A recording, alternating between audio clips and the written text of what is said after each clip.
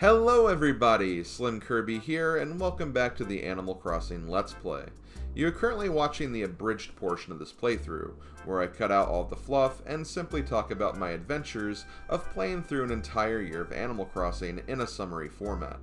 If you'd rather watch the playthrough in its entirety, check out the video description for a link to a playlist that has all the episodes and stream sessions I've done raw and unedited. But if you'd rather stick around for these videos, well, just sit back and enjoy my adventures through Popstar. Thursday, January 31st. Wow, is this actually the end of January? Another month down, with only five more to go. And about a week and a half of July as well. Anyway, since it's the last day of the month, we have lottery stuff to do. And I was very interested in the lottery since it appeared we had an NES game on the table. However, after grinding it out, it turns out that it was only tennis again, which I already had. Hey, I couldn't tell the box art from this distance. Cut me some slack. Oh well, once again, nothing from the lottery this time. At least we got a funny meeting with Resetti out of this. Since I had no need for the tennis game, I decided to actually give it to Curly, since he is one of our jock villagers. I figured a jock would appreciate a video game featuring the likes of Sports Ball. I also found an unsent letter to Deena in my inventory, which apparently meant that the letter I sent yesterday with a piece of fruit attached went to the museum and not her. I like to think that the museum got the letter and thought I was sending some prehistoric fruit or something. They would probably exclaim, My word, the fruit diet of an extinct dinosaur! Last but not least, Jeremiah was once again hiding inside of his house. He really doesn't want to step on that pitfall, does he? But there we go, January is done, which means we now have the shortest month of the year, February. However, since the year number is divisible by 4, we actually have 29 days this year instead of the usual 28. Happy leap year, everyone. As far as stuff to do this month, once again I had nada in mind. I really just want to get out of winter at this point. We're still trying to get that last igloo item, and February, like January, only has one holiday, and that's two days from now. So apologies in advance if it continues to seem like I'm phoning in a lot of these entries hey, it can be really hard to find projects to do for 366 days, okay? However, I should have something to do very soon to at least keep me somewhat busy for the first week or two, but more on that shortly. Let's get moving. Friday, February 1st. Ah, a new day and a new month. Still winter, unfortunately, but I feel like we can move forward with a newfound passion for life and all of its sweet riches and treasures made even more safe and secure when we find out that Weber, the town murder duck, has decided to move his business elsewhere. That's right, Weber is actually gone, folks, and even though it didn't really hit me at the moment, I was a little bummed about that. Sure, I pretended to be scared of him, but the Murder Duck mob boss meme was probably one of my more favorite bits of the project, just under the Ava 67 one. The meme kind of fell off a little at the end there, as I don't really remember any memorable interactions in January, which could also be another reason why he left, honestly, but he was still a very noteworthy character here in Popstar. The only thing I won't miss is sleeping with one eye open every night, knowing that at any moment I could be waking up with cement shoes, or something else incredibly severe. Anyway, I was expecting Bob the cat to move in, since he was initially a Pieces villager, and also a lazy personality type, just like Weber, so it made sense that he would be the first in the lazy queue, since he randomly disappeared after the time travel conundrum a few weeks ago. However, I think he is just lost in move out purgatory at this point, as we actually end up getting a new doggo in town instead named Biscuits. This is the fourth dog villager Popstar has gotten in its entire history, officially tying up the numbers with bears and ducks. Biskit's most noteworthy trait is probably the fact that his fur is incredibly orange. Also, his eyes are very distinctly missing pupils, which is kind of creepy now that I mention it. Anyway, welcome to town, Biskit. We hope your stay is as wonderful as the Cheddar Bay biscuits are at Red Lobster. God, those biscuits are so good. Getting back to business as usual, Deena was in the igloo today, probably trying to escape the drama of her maybe boyfriend moving away from Popstar. Once again, I didn't come away with any new items, but I at least made a profit in terms of my bell numbers, which was something. Also, after the last few days of trying to get Jeremiah with a pitfall, thanks to my own hubris of not being careful and running around nonstop, I accidentally stepped into the trap I left for him myself. Damn, Jeremiah is either the luckiest frog in existence, or he might even be more of an evil mastermind than Weber was. I honestly haven't decided yet. Also, and perhaps the most random of coincidences ever, I went into Nookington's today, said some of the most incredibly random gibberish to the shopkeepers, and was surprised at what resulted from it. That's right, guys, we finally have an orange! Okay, so I cheated to get this, and I really don't care that I did. I was seriously trying to get this last fruit for almost five months. The cherry being the last new fruit I got back in September for crying out loud. My neighbors were just not giving it to me, and whenever they did offer fruit, it just wasn't showing up. I don't know if oranges are just more rare than other fruits. Heck, I was even convinced early on in the playthrough that there wasn't even an orange in this game to begin with, because I just have never seen it show up naturally in this game in all of my playthroughs. But after such a long period of no success, I just decided to use an item code to get it. Those item codes can be pretty handy, by the way. I think at some point soon, I might start using item codes to clear out my catalog more, just to get that sense of completion under my belt, which I know might still seem like cheating to some people, but come on, with how much RNG this game has, can you really blame me? I might try to set at least some restrictions though, like only using one item code a day, and for some item collections, only using it if I get a duplicate item. Or, if I have a special visitor and get nothing new from that visitor, I only pull one random item from just that visitor, or something like that anyway. That won't be until much later, though. Anyway, I plant my new fruit, pray that it grows, and move on to the next day, which is, conveniently enough, the next holiday in Popstar. Saturday, February 2nd. Today is a very special day, and not because it's Groundhog's Day, more on that later, but February 2nd is actually my mom's birthday, so happy birthday, Mom. And I should clarify, my mom in real life, not my Animal Crossing mom. Although, it is worth mentioning that I got a letter from my dad today, of all people. He does chime in from time to time, even though it's mainly the mother who sends letters. Today, he just really wanted to make it a point to insult groundhogs, though, I guess. In more positive news, our orange tree is growing, so soon we'll have all the fruit finally, thank God. Getting back to Groundhog's Day, I need to mention that this holiday alone forced me to come into town four times today. I probably didn't necessarily need to do that, but I wanted to show all the relevant parts of this day.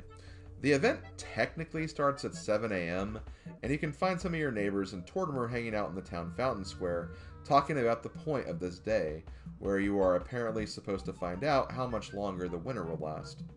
However, nothing will happen here until 8 a.m., which, if you come around that time, Mr. Resetti will show up and break the news. He's not a groundhog by any means, but I guess he's close, apparently, so I suppose that gives him some jurisdiction. He lets us know that winter should be ending soon, which, hey, no complaints from me. Finally, to close off this event, at 9 a.m., Tortimer will finally give out the holiday-specific item for the day, a flower model.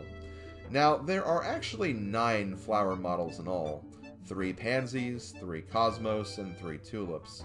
I got pansy model 1, but much like the train station models, it's randomized with which ones you get, meaning that if you want to get them all legitimately, you need multiple characters and potentially multiple years of checking. That, or you can trade with other game owners who don't want those items anymore, or the easier option, use item codes. Item codes are probably the most painless way, honestly, even though some might find that to be cheating.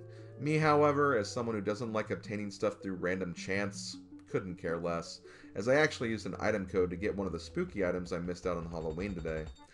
But yeah, that's pretty much Groundhog's Day, and another holiday event done. This might be hard to believe, but we actually won't get our next one until mid-March, so once again, we have a pretty long stretch of time to get through. This has been a long, long winter, folks. We had some interesting developments today with Freya, by the way. First off, she did unfortunately break one of the main Popstar commandments, Thou shalt not hurt Lily's feelings. So we'll need to have a talk with her at some point about that. I do really like Freya, but no matter how attractive she is, there is no excuse for making the Frog Girl sad or mad. That's just not a fight she is ever going to be able to win. However, she did try to appeal to my meme side today when she gave me a 67 shirt. How did she know about this town's symbol? She wasn't here when Ava was around or anything, and living next to Lily, well, Lily was a part of the Cherry cult, so I doubt she would have informed her about the whole notion of 67. I used this development to immediately write Freya another letter, attaching the 67 shirt to it to see if maybe, just maybe, she might wear it herself and become the new Popstar 67 symbol. After all, Freya 67 does at least sound similar to Ava 67. We'll see how this progresses, though. And despite the busy day, it was also Saturday, which means I changed the town tune. Name that tune.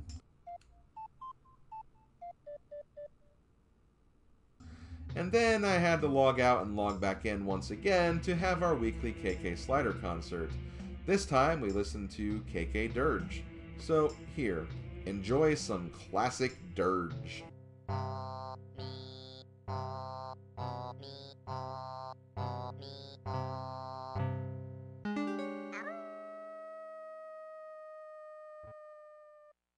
Sunday, February 3rd. I came into town late tonight because Katrina was our special visitor today, and it had been a while since she came here, so I figured she was more deserving of our time than Joan. Plus, money is like the least of any of our concerns, so I don't really even need to make more of it. We did get a notice on the bulletin board, though, from Pete, reminding everyone that Valentine's Day is almost here. I think it's kind of deplorable, though, that the most disgusting character in the game, considering how much of a player he tries to be, has the nerve to speak on the sanctity of Valentine's Day. Nonetheless, he does have a point that the day is coming soon, and there are a couple of lovely ladies I've had my eye on. Don't get me wrong, I don't want to be like Pete or anything, but it has been a few months now since Cherry left, and maybe it's time for me to grab a spoon, so to speak, for those who are familiar with Friends references and terminology. I'll talk more about this later, though.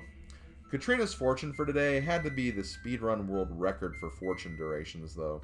I got the fortune where neighbors start avoiding you for a bit of time, but I swear, as soon as I left the tent and talked to someone, they were already apologizing for avoiding me, which usually signifies that the fortune is over. Damn, I hadn't even interacted with anyone yet, and the fortune was already done with. Well, hey, I guess that means it's back to business then. I also spend a little bit more time at Nook Shop with inserting item codes. Yeah, I think I'm starting to clock into that Slim Kirby perfectionist mode, where I start checking off stuff from a checklist and get incredibly invested in wanting to shrink that checklist as much as possible. I'm still only doing it one item at a time, or day in this case, and I'm currently sticking to holiday event items that have already passed, but it's only a matter of time before I get really, really sucked into this. I also spent a little time with Rainbow Rhoda today, who wanted me to change her catchphrase, and out of nowhere, it hit me. Rainbowda. It's perfect. I swear, things are just really clicking with this chicken lately. I also wrote Biskit a letter in an effort to try and keep him. I think I still ultimately prefer Weber, our old murder duck friend, over Biskit, but Biskit is still a decent chap, and I at least find him more interesting than our other lazy candidate Jeremiah, which it hasn't gone unnoticed that he started appearing outside again, you know, after the pitfall I was going to use on him got removed. I'll get you someday, you blue frog. Monday, February 4th. Katrina round 2 went pretty much the same as round 1. Same exact fortune that didn't exactly last long either. Geez, was it worth even coming this time, Katrina?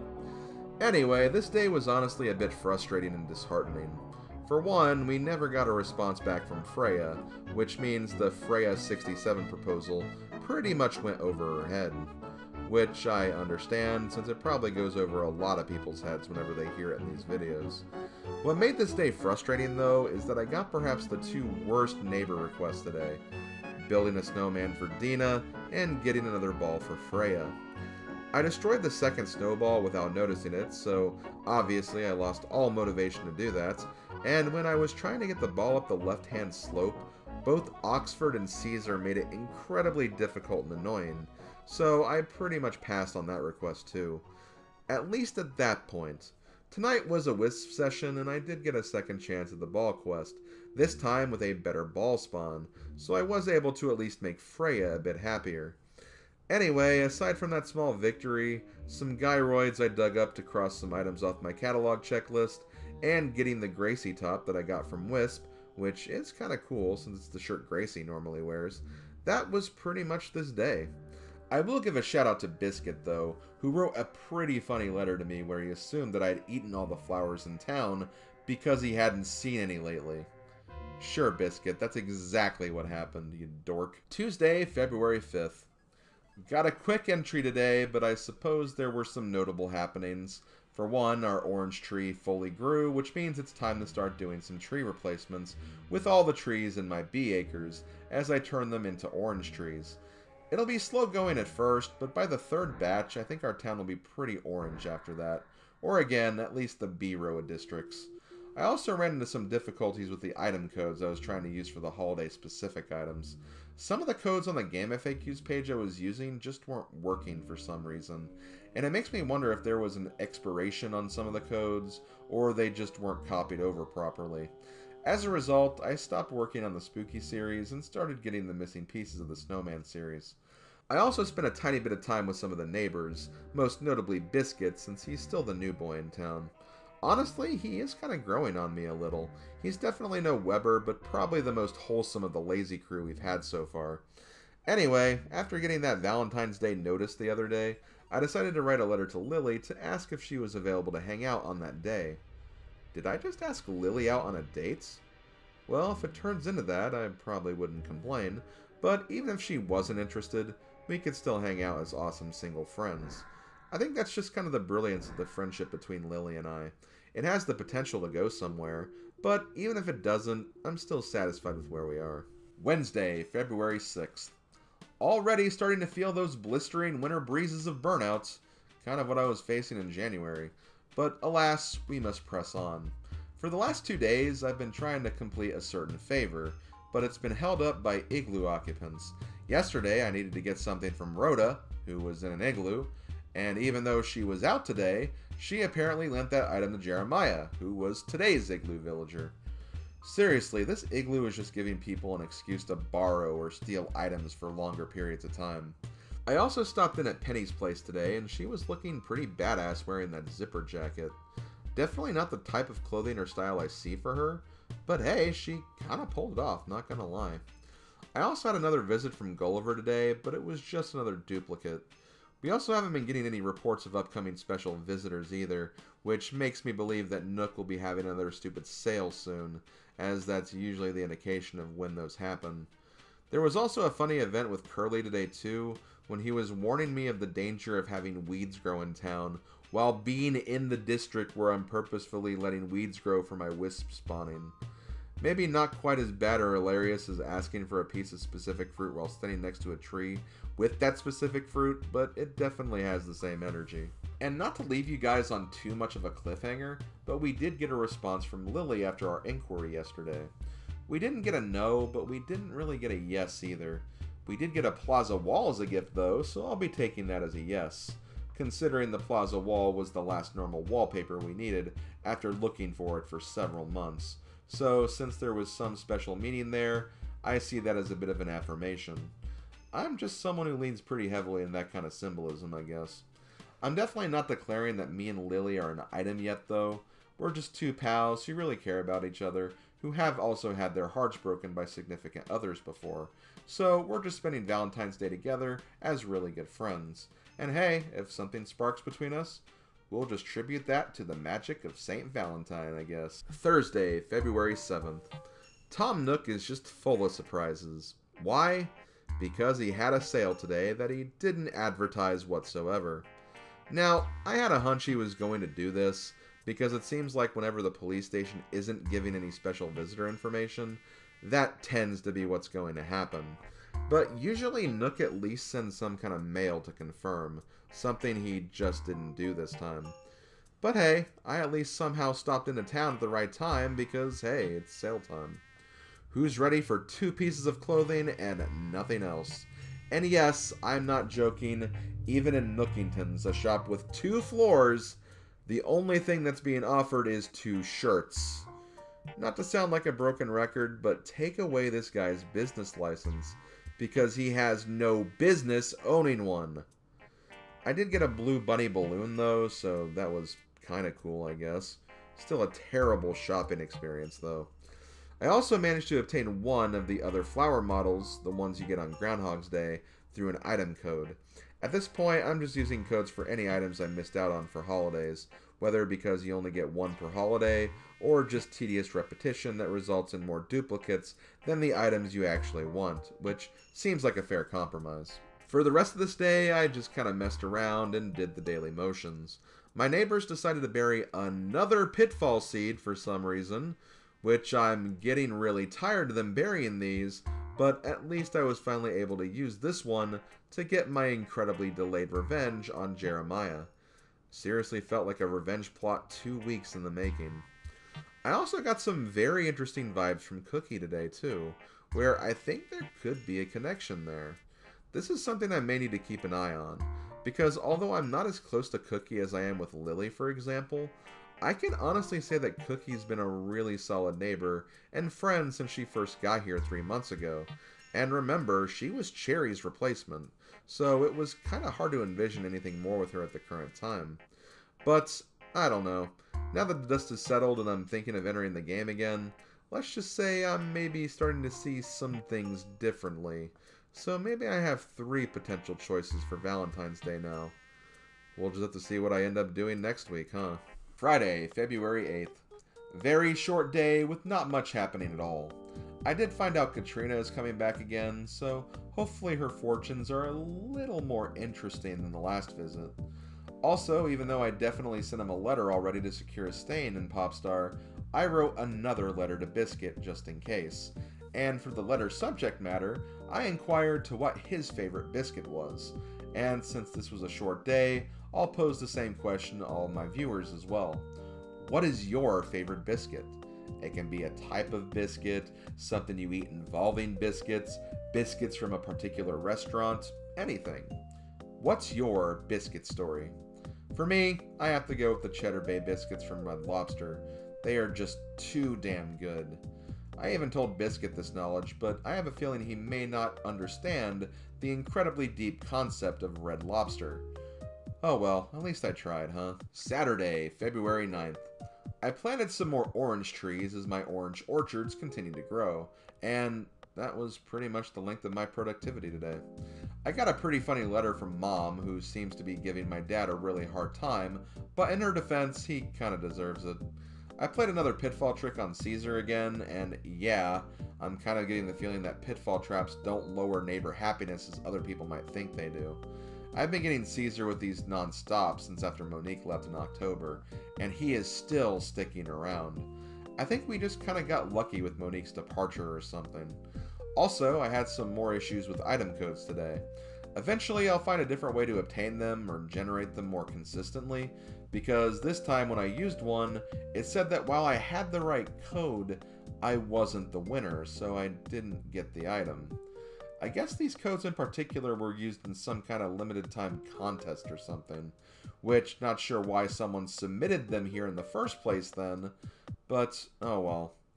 Anyway, as I said, I'll crack the code, so to speak, before too long. At this point, I was still just kind of messing around to see what I could find, so let's be patient with that. For my music this week, this is what I decided on for my town tune. Name that tune. And for KK Slider, we randomly generated one of the few KK songs that actually don't have KK in the title, only me.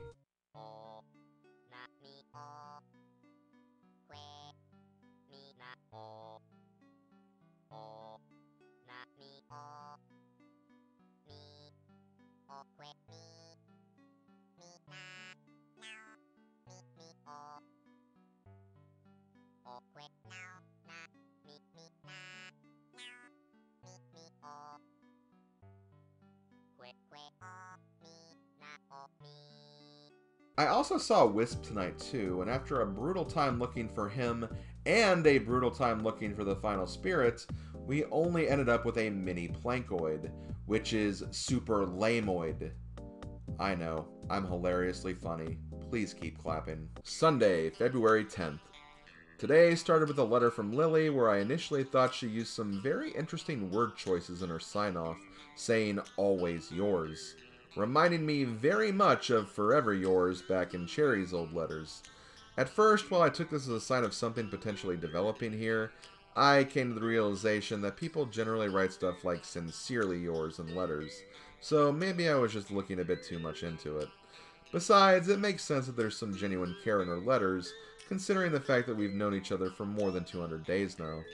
Getting back to business, with Katrina in town again, I got my fortune told and ended up with the always appreciated money fortune.